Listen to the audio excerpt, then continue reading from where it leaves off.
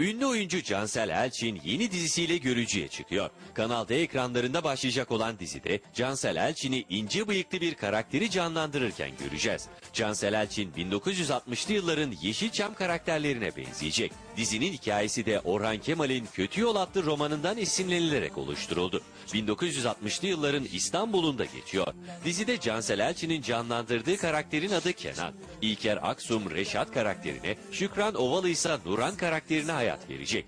Adana kökenli bir rejisör olan Can- Cansel Elçin'in karakteri Kenan, İstanbul'da Nuran'ın elinden tutarak ona bir şans veriyor ve şöhret basamaklarını çıkmasını sağlıyor. Ancak tabii ki Yeşilçam uyarlaması olan bu dizide de bir kötü adam var. O da İlker Aksum'un canlandırdığı Reşat. Dizi özellikle Cansel Elçin hayranlarını ekran başında tutacağı benziyor. Gideceğiz bir tanem. Hem de çok uzaklara gideceğiz. Aşkımıza ulaşamayacakları kadar uzaklara. Kimseleri dinleme Nurhan. Sen yıldız olmak için yaratılmışsın.